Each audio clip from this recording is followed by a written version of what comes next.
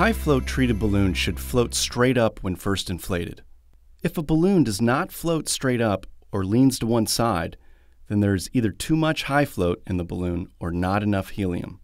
Check to make sure the correct restriction clip is on the pump.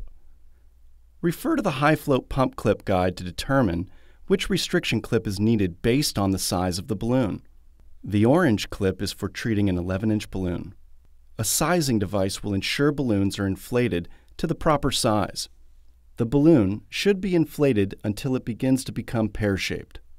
Balloons will get more buoyant as the HI-FLOAT dries. When completely dry, the balloon will float with nearly the same upward force as an untreated balloon. Stretching balloons with air before they are inflated with helium allows them to be inflated to a larger size. If the balloons still do not float well initially, add less HI-FLOAT by not pushing the pump down all the way or switching to the next longer restriction clip. This will reduce the amount of HI-FLOAT injected into the balloon. However, it will also decrease the floating life.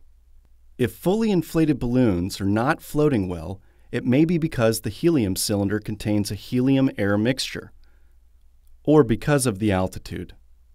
Visit hifloat.com for additional instructions for these conditions.